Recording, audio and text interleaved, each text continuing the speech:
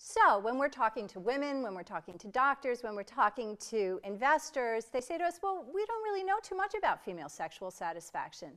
Like, why aren't women satisfied? And what more do they want? So, tell them the story about the bus, Rachel. So, as we were looking for a way to understand the sexual satisfaction of females and understanding what was involved, a doctor gave us a great example. She said, picture sex like a bus ride. Some women don't want to get on the bus. That's a lack of desire. Some women are perfectly fine. They get on the bus.